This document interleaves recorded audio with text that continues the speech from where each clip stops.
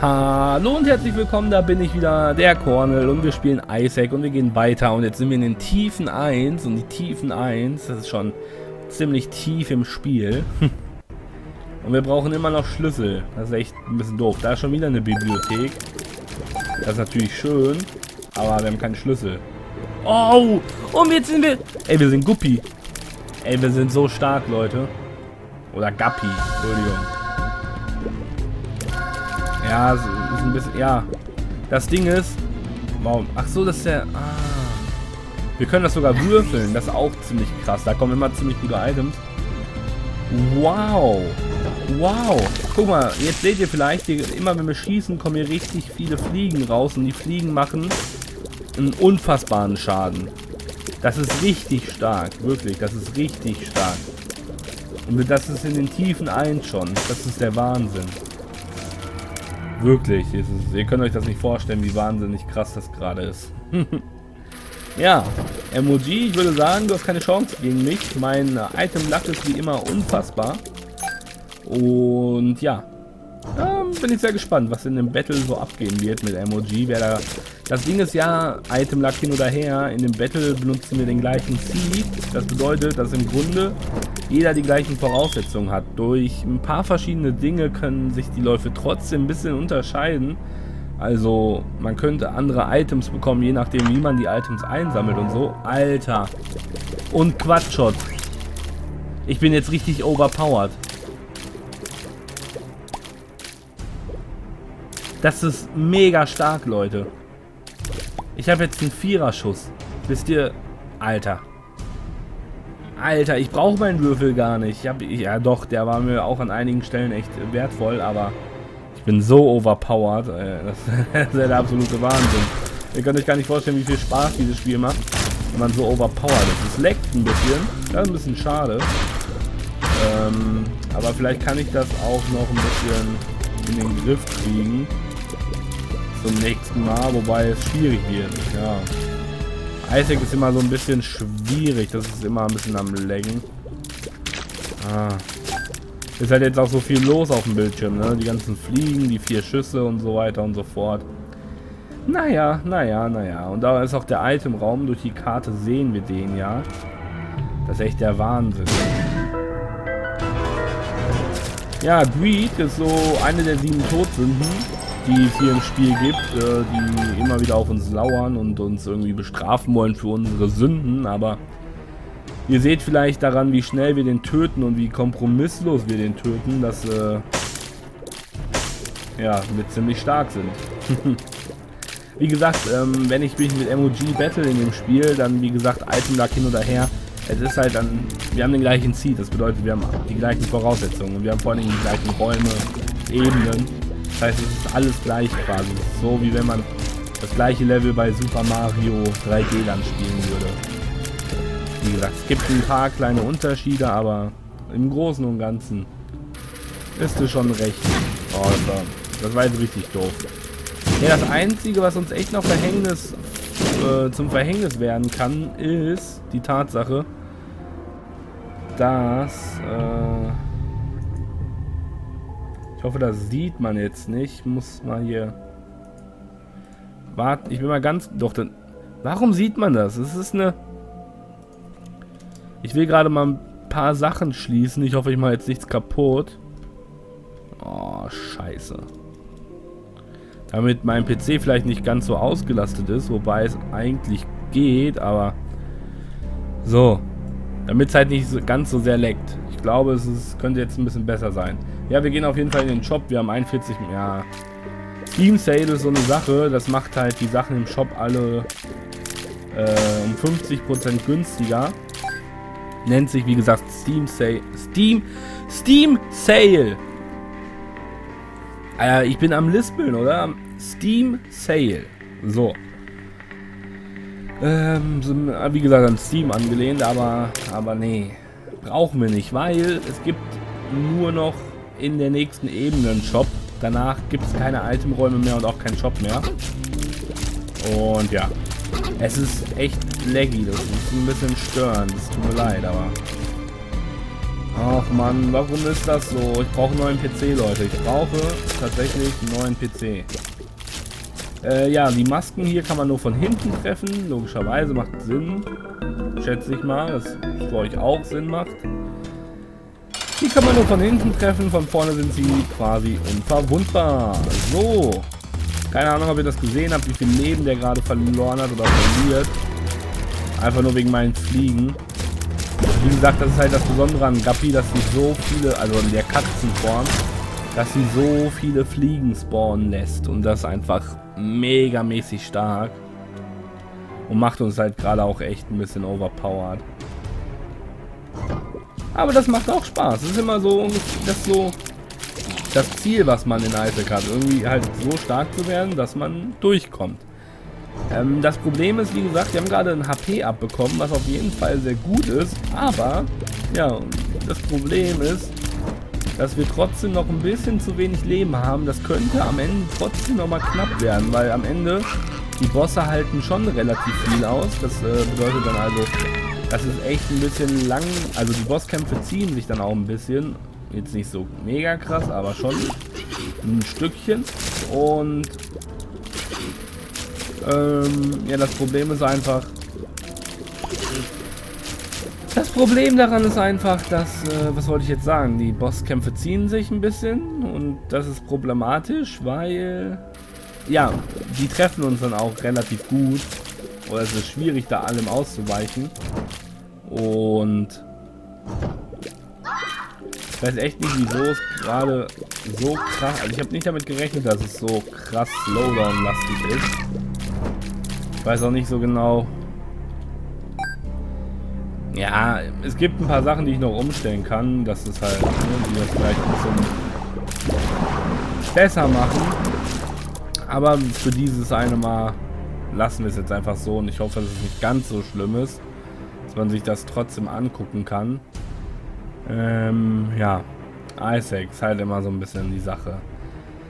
Warum ich das auch spiele und mal auf meinem Kanal zeige, ist, weil ich das halt, wie gesagt, ich spiele es einfach sehr, sehr, sehr gerne. Isaac ist eine richtig krasse Sache, die ich sehr gerne spiele. Und es kommt hoffentlich noch dieses Jahr. Eigentlich war es, glaube ich, so angekündigt. Glaube ich. Bin nicht ganz sicher, aber ich denke schon. Äh, dieses Jahr kommt noch der Nachfolger raus. Ja? Quasi Binding of Isaac 2. heißt dann ein bisschen anders. Äh, beziehungsweise, nee, es, soll ein Remake sein, aber äh, ja, ich kann euch im Vertrauen sagen, es ist fast eher ein zweiter Teil als ein Remake. Hm, ich glaube, ich habe den Item, äh, den, den, ich glaube, ich habe den Itemraum, habe ich den schon geöffnet. Ich glaube nicht, aber Tour of Spades haben wir jetzt, ne? Setzen wir mit Q ein, übrigens die Karten. Verdoppeln unsere Schlüssel, genau. Ja, jetzt die Frage. Hm, ich laufe nochmal zurück zum Itemraum. Ich habe den nämlich noch nicht geöffnet. Ich habe gerade überlegt, ob ich den vielleicht einfach auslasse, weil ich schon so stark bin. Aber nein, ich, ich laufe nochmal zurück und gucke nochmal nach. Im Shop war ich auch noch nicht. Der Shop war auch unten, oder? Wir haben übrigens gerade den äh, Curse of äh, Darkness Effekt. Ihr seht es vielleicht oben. Ich habe zwar die Karte hier eingesammelt, aber ähm, man sieht die Karte nicht mehr. Also es ist halt einfach so ein Verdunklungseffekt. Die Mitre, das ist so die, der, der Papsthut, der sorgt dafür, dass mehr blaue mh, mm, Herzen spawnen. Das ist etwas sehr, sehr Gutes für uns gerade, weil wir irgendwie nicht so das allergrößte Glück haben. Die Batterie. Ich weiß nicht genau welches ist. Ich glaube es ist einfach die Batterie. Die... Jetzt haben wir den... Ja... Ach nee, das ist die. Es, es gibt 9 Volt und es gibt halt die Batterie.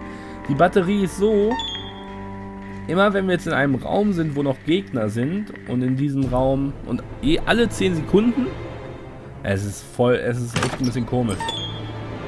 Wenn wir in einem Raum sind, wo ein Gegner ist, dann lädt sich diese, unser Spacebar-Item alle 10 Sekunden um eine Aufladung auf.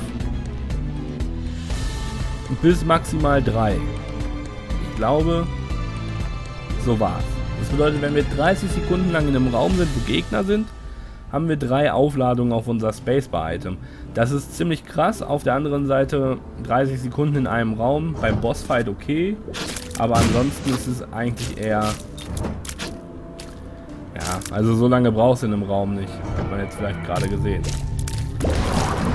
Aber naja, kann nicht schaden. Vor allen Dingen beim Boss ist es eigentlich schon hilfreich. Das bedeutet, es würde vielleicht sogar Sinn machen, wenn wir uns so langsam mal eine gute Spacebar-Item suchen.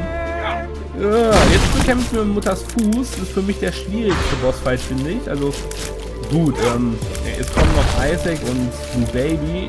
Ich glaube, den Teufel finde ich fast einfacher als Mutter. Aber ihr seht es vielleicht, wir sind so overpowered, dass wir einfach, ja, dass ich sie trotzdem einfach in alle unfassbare Stücke gerissen habe. Wir haben jetzt ein weißes Herz eingesammelt. Das äh, weiße Herz, mh, wenn wir das mit in die nächste Ebene nehmen, was wir halt hiermit jetzt machen, dann verwandelt sich das in einen Herzcontainer. Man kann das weiße Herz halt verlieren, wenn man Schaden bekommt. Deswegen sollte man das meistens immer erst am Ende einer Ebene aufsammeln. So, ihr seht eventuell an der Karte oben links, dass es ziemlich groß ist hier. Das liegt daran, dass wir eine XL-Ebene habe, haben. Das bedeutet hier, wo die Ebenen sowieso schon richtig groß sind, im Utero, ne, im Womp sind wir, im Womp, ähm, ist halt quasi, ist, äh, relativ lange die äh, letzte Stage, aber wir können noch weiter, weil ich, wie gesagt, einen fast durchgespielten Spielstand habe. Mir fehlen noch ein paar Challenges, aber die sind halt nicht so viel Lust drauf auf die Challenges. Ähm, ja, die Wurm ist sowieso schon relativ groß. Und jetzt haben wir eine XL-Ebene. Das bedeutet doppelt so groß ungefähr. Vielleicht nicht ganz, aber ja, ist halt einfach. Nein, ja, ähm, ja doch. Wir haben gerade eine Pille bekommen. War es unsere erste Pille? Ich glaube schon. Die Pillen haben halt auch immer irgendeinen Effekt. Wir hatten jetzt Bombsaki, das bedeutet, unsere Bomben wurden zu Schlüsseln äh, und unsere Schlüssel zu Bomben. Und weil wir halt 13 Bomben hatten und äh, nur einen Schlüssel, haben wir jetzt 13 Schlüssel und eine Bombe. Macht Sinn, ne? Ich bin jetzt auch nur dabei, also hier gibt es nichts mehr. Das ist nicht ganz richtig. Es gibt hier ein äh, Arcade, also so ein Spielraum, wo man an Geräten spielen kann. Ähm, es gibt hier, jetzt hört da wieder irgendjemand Musik. Es gibt hier auch noch so Challenge-Räume oder so Opferungsräume. Aber es gibt hier keinen Itemraum mehr und auch kein... Und auch kein... Mh, hm, es gibt keinen Itemraum und es gibt keinen Shop. Deswegen ist eigentlich meine einzige... Mein einziger Wunsch, jetzt relativ schnell den Boss finden. Beziehungsweise die beiden Bosse. Wie gesagt, es ist eine XL-Ebene, deswegen gibt es hier am Ende auch zwei Bosse. Und wir haben sie sogar gefunden. Ah, das freut mich. Ja, die werden wir jetzt auch direkt besiegen gehen, weil wir nicht mehr, wir können uns nicht mehr großartig verbessern. Das Einzige, was wir halt noch schaffen können, ist, dass wir mehr blaue Herzen bekommen oder vielleicht den Goldpisten AP-Ups finden oder so, aber ja, also wirklich krass verbessern können wir uns eigentlich nicht mehr. Wir machen unfassbar viel Schaden und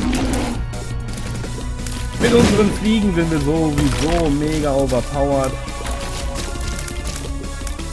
Jetzt hat äh, Gish die, ja genau, wenn Gish die äh, mit dem Verlangserung, äh, Verlangserung, wenn Gish die einschleimt, sodass sie langsamer wird, dann stürzt dieser Boss immer so ab. Seht ihr vielleicht. Naja. War jetzt nicht so schwierig, der Boss. Wir würfeln nochmal neu, haben nochmal ein Tiers ab, was uns halt ist einfach mega krass und ähm, dieses Item gibt uns auch zwei blaue Herzen. Das ist jetzt äh, Mutters Herz, sieht nicht mehr ganz so aus wie ein Herz, weil wenn man das zehnmal besiegt oder so, dann wird es für Glyphs. Und das ist halt nochmal ein bisschen stärker, Eclipse. Äh, ich weiß gar nicht genau warum. Ich glaube, weil Eclipse äh, hier Bosse spawnt und das normale Herz am Anfang nicht. Aber wir sind, wie gesagt, so overpowered, dass uns das nichts ausmacht. So, dann kann man auch eine Bombe hinlegen. Wir jetzt weggeschossen. Schade, aber egal. Da kommen die Masken, das sind immer relativ unangenehme Gegner, ist aber nicht so schlimm, haben wir auch gemeistert. Ihr seht es vielleicht oben, wir machen so viel Schaden, das ist einfach nur der absolute Wahnsinn. Jetzt können wir uns entscheiden, ob wir in die Hölle gehen oder ob wir in den Himmel gehen. Hm, in der Hölle ist dann quasi Ende, da gibt es dann, den, also da gibt auch nochmal eine Ebene und da muss man dann zu Satan und wenn man Satan besiegt hat, hat man quasi gewonnen. Oder man geht in den Himmel, im Himmel gibt es äh, den Kampf gegen Isaac und danach kann man dann noch weiterspielen. Und ja. Das werden wir jetzt auch angehen, weil das ähm, ja, der schönere Weg ist. Keine Ahnung, ich gehe lieber... Ja, das ist halt... Man muss am Anfang den Teufel besiegen und äh, zu Isaac kommt man erst später im Spiel. Das ist halt quasi... Ja, weiß ich nicht. Macht man halt einfach so. Keine Ahnung.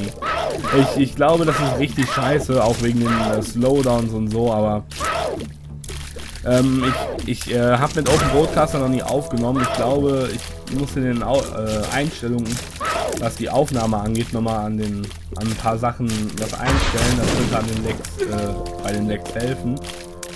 Wobei Isaac sowieso immer ein Spiel ist, was da so ein bisschen anfällig ist. Aber eigentlich leckt es nur, wenn ich render, das macht Sinn. Ähm, wir dürfen uns nicht so oft treffen lassen. Ach ja, was ich auch nicht erwähnt habe, ähm, am Anfang hat uns jeder Gegner immer nur ein halbes Herzschaden gemacht. Hier in The Womp ist es jetzt so, dass äh, uns jedes, jeder Gegner, egal wer uns trifft, ein ganzes Herzschaden macht. Das ist natürlich dann auch nochmal eine Nummer schwieriger. Da wir die Karte haben, können wir jetzt äh, gewisse Räume auslassen, weil wenn da der Boss wäre, würden wir das ja sehen, ne? weil wir es dann sehen würden auf der Karte und auch an der Tür. Deswegen wissen wir, dass wir da halt nicht rein müssen, weil wir nur noch den Boss suchen. Ähm, ja, ich denke auch, dass ich den Part nicht nochmal aufsplitten werde, weil wir relativ gut vorangekommen sind und ja, ich weiß nicht genau, wie lange ich noch... Ja, wobei er könnte am Ende nochmal ein bisschen sich lang ziehen, aber ist egal. Wer das jetzt noch guckt, der hat wahrscheinlich sowieso Spaß daran und dann machen wir jetzt einfach bis zum Ende durch. Wie gesagt, das mit den, äh, den Slowdowns ist echt ein bisschen krass. Vielleicht lade ich... Ich weiß nicht, ob ich es hochladen soll. Ich weiß es nicht, ich weiß es nicht. Wir gucken einfach mal. Wir gucken einfach mal, ja. Auf jeden Fall sind wir mega stark, das freut mich und... Äh, warum konnte er über den Stein schießen? Wie hat normalerweise keine, ähm, ja, Spectral Tiers. Ja, wir haben so viel Geld, dass wir auch alles einfach nicht mehr benutzen können. Wir hatten auch wir haben auch keinen einzigen Arcade-Raum gefunden. Das ist eigentlich untypisch, weil... Oh, wir kriegen viel zu viel Damage. Das war gerade echt schön mit den ganzen blauen Herzen, die wir hatten. Problem ist, dass wir jetzt einfach... Wir werden beim Boss halt einfach echt einig, also schon einiges an Schaden einstecken müssen. Und ich bin zuversichtlich, dass wir Isaac noch besiegen können. Aber danach wird es dann schwierig, danach weiterzukommen. Ich habe aber auch hier wieder echt alles mitgenommen, ne, was geht. Hm? Okay. Hm, jetzt könnten wir hier dran spielen. Da können wir halt Herzen gewinnen, wir können alles gewinnen. Aber ich lasse es einfach mal für den Spielfluss. Ja, im Grunde muss man an den Automaten echt oft spielen, aber ich lasse es jetzt einfach. Ich habe mich schon wieder treffen lassen. Das gibt es einfach nicht. Das gibt es einfach. Nein, das ist ein richtig scheiß Trinket. Habe ich darüber schon gesprochen, über die Trinkets? Ich kann das ganze Spiel jetzt auch nicht in 40 Minuten erklären. Ich muss ja auch ein bisschen äh, spielen und mich darauf konzentrieren, dass ich jetzt hier nicht sterbe. Und ja, wir sind jetzt bei Isaac. Der macht hier ganz viele Tränen. Das ist halt immer ein bisschen schwierig. Es gibt so... Äh, ja, der Meatboy kreist da um uns rum. Das ist ein defensiver äh, Begleiter quasi, der um, um uns rumschwebt. Das Gute an dem ist halt, dass der Ton abfangen kann. Und es gibt auch noch andere. Es gibt äh, Fliegen, die auch um uns rum schweben können, die das dann halt auch machen. Und wenn du richtig viele davon hast, dann bist du hinter bei Isaac so, dass du halt einfach stehen bleiben kannst und dann trifft er dich nicht. Ja. Dann kannst du ihn quasi tanken, für alle, die wissen, was damit gemeint ist. Hier ist es jetzt nicht so. Wir wurden jetzt hier schon ähm, einiges Mal, ja, wir wurden jetzt hier schon öfters getroffen. Ist halt wie gesagt nicht so gut. Auf der anderen Seite ist der, ich finde Blue Baby fast sogar schon ein bisschen leichter. Das ist jetzt hier die letzte Ebene, wo wir sind. Hier gibt es auch überall nur noch Items. Ähm, jetzt überlege ich gerade. Das nehmen wir auf jeden Fall mit. Äh, das Relikt macht auch das mehr Herz, äh, das, ich glaube alle fünf Räume spawnt ein blaues Herz. Ist eigentlich scheiße gewesen, weil wir gar nicht mehr so viele Räume machen wollen, aber naja, egal. Ähm, das unten ist Kamikaze, unten links. Da springen wir uns quasi selbst in die Luft, kriegen einen Herz Schaden, machen aber ein bisschen Damage. Das lohnt sich nicht. Ähm, das ist so eine Art Bombe,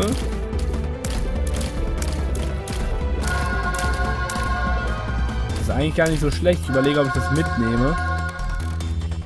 Äh, ich überlege, ob ich das auch mitnehme. Ich, ich bin aber, wenn ich jetzt neu würfel, dann ist halt die Frage, kriege ich ein Spacebar-Item, was ich gebrauchen kann. Ah.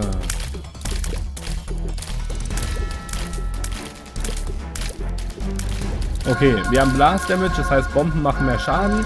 Wir haben eine Celtic Cross, da haben wir, wenn wir Glück haben, wenn wir Glück haben, dann können wir, äh, kriegen wir ein Schutzschild. Und hier sind in den Räumen halt nur noch äh, Bosse oder so Mini-Bosse. Hier sind halt jetzt drei Mini-Bosse. Das ist einmal Lust, das sind so Todsünden. Ich weiß gar nicht genau, wo der Bomberman steht. Naja. Eigentlich müsste ich den Lauf hochladen, einfach nur weil ich so, weil ich so unfassbar overpowered bin. Wie gesagt, Einzige, was echt fehlt, sind die Herzen. Das Einzige, was fehlt, sind die Herzen. Wir könnten hier dran spielen, damit wir noch ein paar blaue Herzen kriegen, aber... Oh, hat er die Geduld? Das ist halt die Frage. Oh, scheiße. Ich war halt... Hab halt jetzt gesehen, dass da unten kein, kein Boss ist, deswegen bin ich da jetzt direkt wieder weg.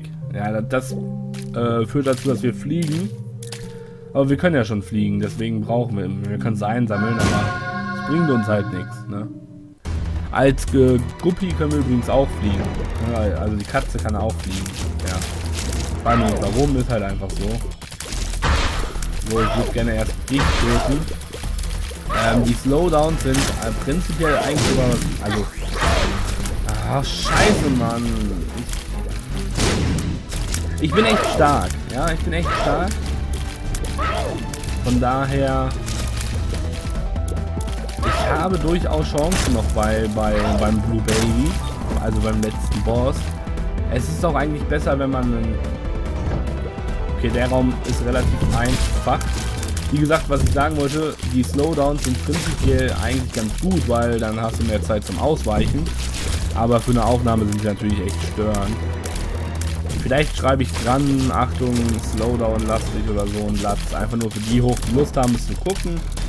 Äh, da müssen wir jetzt auch nicht reingehen, weil wir wissen, dass darum nicht der Boss ist. Das bedeutet, wir müssen jetzt ja ganz nach da links rüber wahrscheinlich. Das ist ein bisschen doof, aber naja. Ah, Monstrous Zahn ist halt echt nicht so unfassbar. Ja, Schubda Wupp ist auch ein Spacebar-Item. Bringt uns aber auch nicht so viel. Oh Mann. Ja, die Feuer schießen manchmal auf uns. Das ist ein bisschen doof.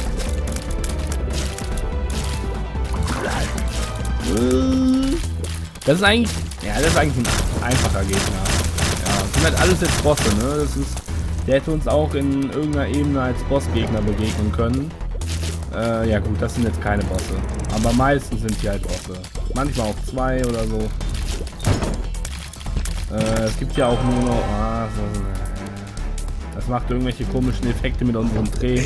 Das sind zum Beispiel zwei Reiter. Das sind eigentlich zwei ja, einzelne Bosse, die wir jetzt zusammen hier in einem, in einem Raum haben. Was ich mich immer frage, vielleicht weiß es ja jemand, falls jemand zuguckt, was ich mich immer frage ist, haben diese Bosse in diesen Räumen hier genauso viel Leben wie auch als letztendlich Bosse oder also wie sie als Bossgegner vorkommen? Versteht ihr das? Wenn der jetzt in einem Boss Bossraum vorkommt. Hat er dann im Bossraum mehr Leben? Ich glaube nämlich schon. Ja. Ich weiß nicht genau, ob ihr das jetzt verstanden habt, aber ich habe es gefragt. Das ist mir wichtig. So, und jetzt ist da der Gegner, der Bossgegner. Oh, wir kriegen aber Schaden. Scheiße. Hat ein blaues Herz? So, als... Oh, nee. Jetzt seht ihr, was das Steady Cross macht. Wir haben jetzt ein Schutzschild. Für eine gewisse Zeit. Das ist halt relativ stark. Das Polaroid gibt uns die Eigenschaft, dass wir ein Schutzschild kriegen, wenn wir nur noch ein halbes Herz haben. Deswegen ist es eigentlich relativ sinnvoll. Jetzt, haben wir, jetzt gewinnen wir das. Scapula, was wir gerade eingesammelt haben, führt dazu, wenn wir auf ein Herz fallen oder ein halbes, dann kriegen wir ein blaues Herz dazu. Einmalig in dem Raum. Ähm, glaube ich. Und ja, das bedeutet, wir haben jetzt zweimal den Polaroid-Effekt. Das sollten wir schaffen. Das ist Blue Baby. Ähm, ich versuche trotzdem ein bisschen auszuweichen. Der ist im Grunde wie Isaac, nur spawnt der Fliegen zwischendrin. Was jetzt nicht das allergrößte Problem ist, vor allen Dingen mit Headshot, weil da erwischen wir die auf jeden Fall. Und der macht, ja sonst wie gesagt, der macht glaube ich nicht ganz so viele Gehen um die Isaac, bin ich ganz sicher. Ne, ich denke nicht. So, da haben wir erstmal ein Schutzschild. Legen wir mal eine Bombe hin, haben wir jetzt weggeschossen. Müssen aufpassen, dass das Schutzschild, wenn es weggeht. Wobei, wenn wir jetzt gleich getroffen werden, haben wir halt wieder ein Schutzschild vom Polaroid. Das war gerade das Schutzschild vom Celtic Cross. So, jetzt haben wir nämlich das Schutzschild vom Polaroid und wir haben ein blaues Herz dazu bekommen und dann haben wir es geschafft. Es war relativ einfach. Konnte uns eigentlich nichts passieren. Weil wir haben das blaue Herz durch Scapula, was wir gerade im Vorraum gefunden haben, haben wir das blaue Herz bekommen, weil wir halt auf ein halbes Herz runter sind. Und wir hatten ja den Schutz vom Polaroid und wenn wir jetzt nochmal getroffen worden wären, hätten wir ja wieder ein halbes Herz gehabt. Dann hätten wir zwar kein neues blaues Herz bekommen, aber wir hätten wieder einen Schutz vom Polaroid bekommen. Das heißt, relativ lange äh, ja, unter Schutz und weil wir so viel Damage gemacht haben, hat es locker gereicht. Ja, das war jetzt ein Lauf in 49 Minuten. Ähm, ja, weiß ich jetzt so genau, ob man sich das angucken kann, war jetzt wahrscheinlich, ja, ich weiß auch nicht. Die Slowdowns waren halt kacke, da muss ich nochmal dran basteln. Vielleicht lade ich ihn trotzdem hoch. Äh, ich wünsche euch, wenn ich ihn hochgeladen habe und das hier noch anguckt, dann wünsche ich dir auf jeden Fall noch einen schönen Tag und äh, ja, tschüss!